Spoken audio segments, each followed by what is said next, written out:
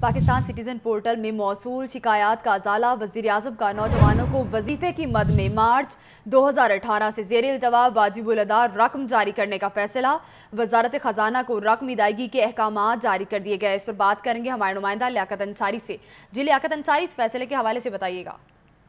Pakistan citizen portal جو ہے، یہ وزیر اعظم عمران خان کی جانب سے عوامی شکایات کے ازالے کے لیے قائم کیا گیا تھا اور اب اس میں تیزی کے ساتھ جو شکایتیں ہیں، ان کا ازالہ کیا جا رہا ہے۔ نوجوانوں کے حوالے سے دو سو بیاسی نوجوانوں کے کیسز جو ہے، اس پورٹل سے گئے تھے جہاں پر شکایت کی گئی تھی کہ ان کی جو ہے رقم جو ہے وظیفے کی وہ ادا نہیں کی جا رہی ہے۔ اس تناظر میں وزیر اعظم نے فوری طور پر جو رقم ادا کرنے کا حکم دیا ہے، جس کے لیے نوجوان مسلسل دربدہ ٹھوکرے کھا رہے تھے۔ نو سو اکتالیس ملین روپے کی ادائیگی کے جو احکامات ہیں وہ جاری کر دیے گئے ہیں اور اس واسطے وزارت خزانہ نے جو ہے وہ رقم بھی جاری کر دی ہے۔ جی۔ ٹھیک ہے، رقم جاری کر دی جائے گی۔ بہت شکریہ لیاقت انصاری۔